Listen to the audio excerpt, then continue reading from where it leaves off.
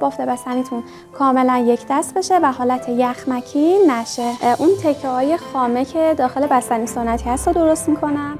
امروز می‌خوایم با همدیگه بستنی سنتی زعفرانی کشدار و خوشمزه درست بکنیم که جزء ده بستنی برتر دنیاست. با نصف هزینه ای که شما صرف می‌کنید برای خرید این بستنی خیلی آسون و راحت می‌تونید سالمتر و ارزونترش رو توی خونه درست بکنید که دقیقا طعم و بافتش عین بستنی سنتی های بازاری میشه. درست کردنش در عین سادگی چند تا نکته ریز و مهم داره که همه رو امروز تو این ویدیو بهتون میگم تا در نهایت بافت بستنیتون یک دست و عالی بشه و به هیچ عنوان یخمکی یا لاستیکی نشه.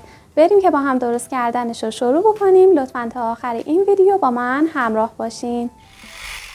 در ابتدای کار نیاز هست به یک و سه چهارم پیمانه شکر که منظور از پیمانه این پیمانه های استاندارد هست که دقیقا معادل یه لیوان دستهدار فرانسویه هر کدوم در دسترس دارید می‌تونید برای اندازهگیری مواد ازش استفاده کنید. اگر دوست دارید که بستنیتون یکم شیرین تر باشه می‌تونید در نهایت یکی دو قاشق غذاخوری بازم به این میزان شکر اضافه کنید. به شکر یک و قاشق چای خوری سلب اضافه می‌کنم. سلب باعث کشدار شدن بستنیتون میشه و از بلوری شدن و یخمکی شدن. بستنیتون جلوگیری می‌کنه. نمی‌تونید به هیچ عنوان حذفش کنید. حالا سلب رو با شکر ترکیب می‌کنم. این کار باعث میشه که بعدا سلب داخل شیر گلوله گلوله نشه. خب این از شکر سلب. به یه لیتر شیرم احتیاج داریم که حتما باید این شیر پرچرب باشه. اگر از شیر کم چرب استفاده بکنیم بستنی تو حالت یخمکی میشه. پس حتما شیرتون پرچرب باشه. یه لیتر شیر تقریبا معادل 4 تا لیوان هست یا 4 تا پیمانه استاندارد. حالا میذارمش روی گاز که به آستانه جوش برسه و اونجا بقیه توضیحات رو بهتون میدم. خب من حرارت رو زیاد کردم که شیر به آستانه جوش برسه و از اطراف شروع بکنه به جوش زدن. وقتی که شیر از اطراف شروع به جوش زدن کرد حرارت رو ملایم می‌کنم. و ترکیب شکر و سلب و آروم آروم اضافه می‌کنم و مدام هم می‌زنم. اگه شکر سلب رو به یک بار اضافه بکنیم باعث گلوله شدن سلب داخل شیرتون میشه. پس آروم آروم اضافه کنید و هر بار به خوبی همش بزنید.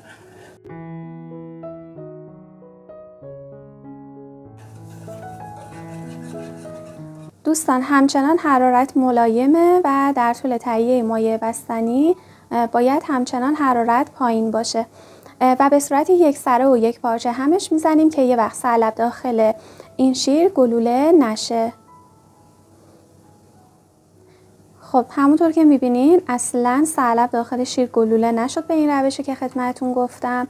و یه نکته دیگه هم حین هم زدن شیر باید دقت بکنید. اینکه قاشق یا لیسکتون رو به اطراف و دیوارهای این قابلمه یا تابتون نکشین.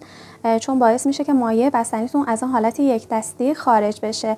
البته اگر یه همچین اتفاقی افتاد و داخل مایع بستنیتون یا گلوله های سلب بود یا این تکه های خوش شده شیر می‌تونید بعدا کل مایع بستنیتون رو از صافی رد بکنید خب حدود هفت دقیقه است که من دارم این مایع بستنی رو به صورت مداوم و آروم همش می‌زنم و حالا می‌خوام غلظتش هم بهتون نشون بدم. تقریبا به غلظت یه فرنیه رقیق که رسید کافیه. البته این زمان برای شما ممکنه متفاوت باشه. اگه مایع بستنیتون کمتر از این مقدار باشه یعنی میزان مواد رسپی رو نصف کرده باشین. طبیعتا این زمان برای شما کمتر هست. اگرم که مواد رو دو برابر کرده باشین طبیعتا این زمان برای شما طولانی تره. و همینطور بستگی داره به میزان حرارتتون و جنس تابه یا قابلمتون خب حالا نیاز هست به 200 گرم خامه صبحانه که خامه هایی که داخل ایران هست چربیشون 30 درصده. کل این بسته رو من اضافه می‌کنم. اگر که توی کشوری هستین که میزان چربی خامه هاش بیشتر از 30 درصده می‌تونید میزان خامه رو کمترم بزنید خب من خامه رو ریختمش داخل یک کاسه. دقت کنید که خامتون هم حتما همدمای محیط باشه. یعنی از نیم ساعت یه ساعت قبل گذاشته باشین توی محیط تا به دمای محیط رسیده باشه. یکم از مایع بستنی میرزم داخل این خامه که خامه یه مقداری رقیق بشه و بعدا داخل مایع بستنی خیلی راحتتر حل بشه. همش می‌زنم تا یه دست بشه. باز یه مقداری اضافه می‌کنم و دوباره همش می‌زنم.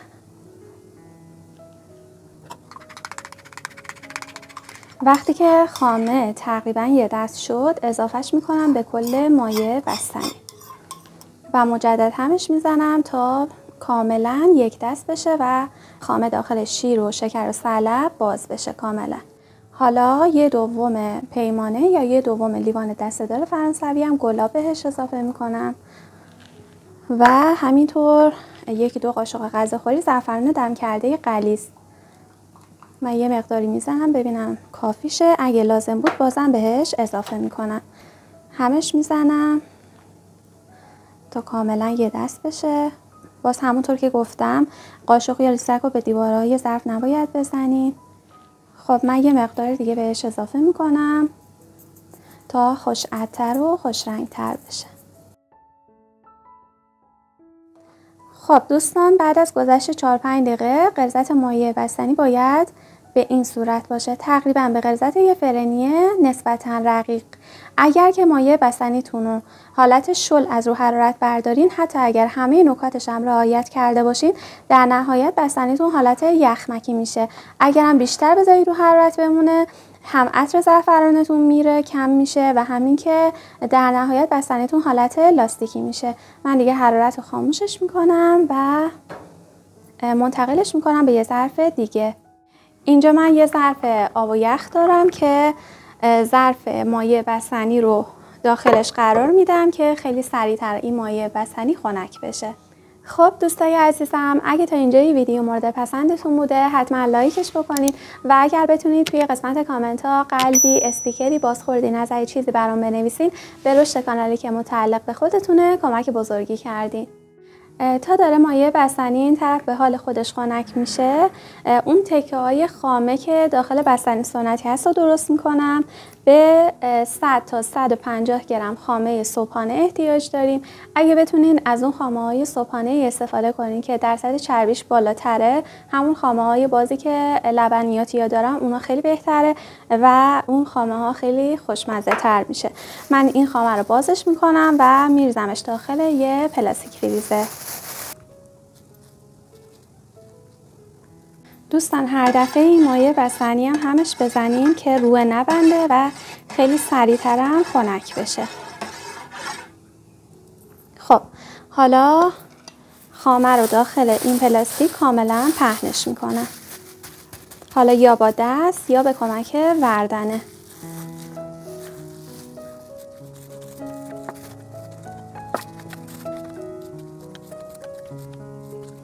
خب من اینو منتقلش می‌کنم داخل یه سینی و میذارمش داخل فریزر کف فریزر که خیلی سریع یخ ببنده و خودشو بگیره. خب مایه بستنی سنتی مونم خنک شد. حالا به مدت 45 دقیقه میذارمش داخل فریزر که یه مقداری از اطراف شروع بکنه به یخ زدن. خب بعد از این 45 دقیقه یک کم بستنی از اطراف شروع کرده به یخ زدن. و با همزن دستی از اطراف بستنی رو جدا می‌کنم میارم به وسط و کاملا یک دستش می‌کنم. هم می‌تونید با همزن دستی این کار رو انجام بدید هم با چنگال هم با همزن برقی. البته همزن برقی الان لازم نیست. وقتی که بستنی سفتر شد می‌تونید اون موقع از همزن برقی هم استفاده کنید تا بافت بستنیتون کاملا یک دست بشه. از الان به بعد باید در طول چهار ساعت هر نیم ساعت یه بار یا در نهایت هر چلقه یه بار ظرف بستنی رو از داخل فریزر خارجش بکنید. خوب خوب یک دستش بکنید همش بزنید. مجدد بذارین داخل فریزر بعد از نیم ساعت این کار رو تکرار بکنید این کار به این علت هست که بافت بستنیتون کاملا یک دست بشه و حالت یخمکی نشه. خب بعد از نیم ساعت مجدد اطراف بستنی شروع کرده بستن و دوباره بستنی رو با هم زدن کاملا یه دستش می‌کنم حتما این تکه های بستنی های یخ زده شده رو کاملا داخل مایه بستنی باز بکنید که بعدا بستنیتون حالت یخی نشه.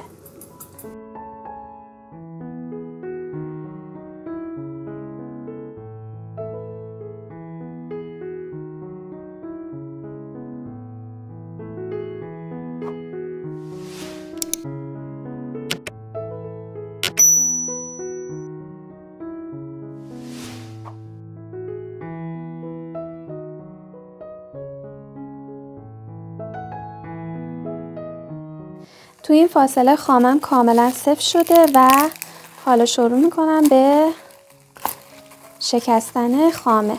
به هر اندازه که دلتون می‌خواد می‌تونید خامه رو بشکنید. من یه سریشو کوچیکتر میشکنم برای داخل بستنی. یه سریشم بزرگتر نگه میدارم برای تزئینش.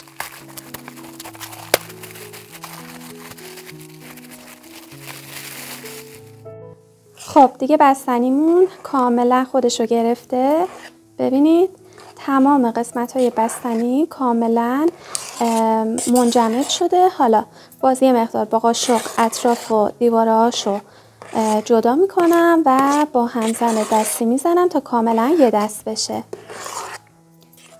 ببینید چقدر قشنگ سفت و کشدار شده. حالا تو این مرحله می‌تونیم مغزیجات دلخواه و خامه هایی که خورد کردیم رو اضافه کنیم.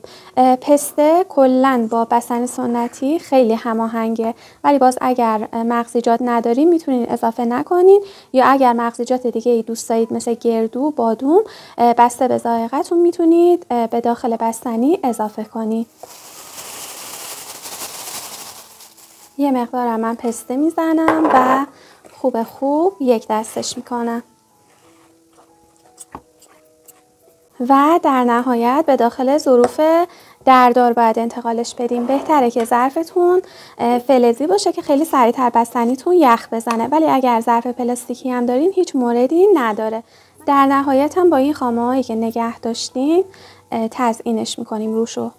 می‌تونید یه مقداری هم خلال پسته روش بپاشین. درش هم محکم محکم میبندم. اگر که در به راحتی کیپ نمیشه حتما لاشی پلاستیک فریزر بذارید که هوا داخلش نفوذ نکنه. حالا این بستنی ها رو باید منتقلش بکنیم داخل فریزر. به مدت حداقل 12 ساعت داخل فریزر بمونه خودش رو بگیره و کاملا سفت بشه. خب بعد از گذشت 16 ساعت من دیگه بستنی رو از داخل فریزر خارج کردم. کاملا سفت شدن خودشون رو گرفتن و حالا می‌خوام scoop بزنم و برشش بدم. برای scoop زدن و برش دادن این بستنی باید از چند ساعت قبل بذاریمش تو دمای محیط یه مقدار نرم بشه. یه ظرف آب داغ کنار دستمون هم داشته باشیم. هر بار این قاشق scoop یا چاقو داخل این آب ببریم و بعد بتونیم راحت این بستنی رو scoop بزنیم و برش بدیم. دوستان در نهایت بهتون پیشنهاد میدم که ویدیوی آموزشی بستنی مگنوم کارخونه‌ای رو حتما ببینید. یه بستنی خیلی خوشمزه و خوشبافتی هست که به نظرم اصلا از دستش ندین و اگرم تا الان به جمع ما اضافه نشدین کافیه رو تصویر سمت راست ضربه بزنید تا مستقیما کانالمون رو subscribe کنید تا ویدیوی آینده خدا نگهدار.